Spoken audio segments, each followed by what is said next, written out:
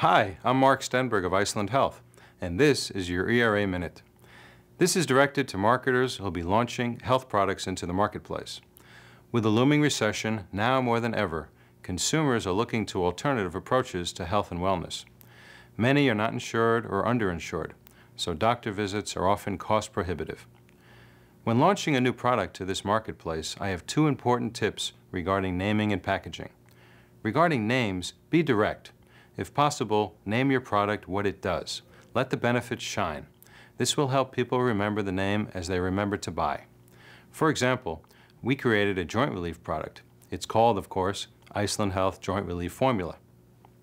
Regarding labels, simple, clean, easy to read, and uncluttered. Remember, your label must be easy to read on TV and also hold its own at retail. Use colors which enhance and reinforce your branding so that people will remember the name and the label and hopefully purchase the product. I'm Mark Stenberg of Iceland Health, and thanks for listening to the ERA Minute.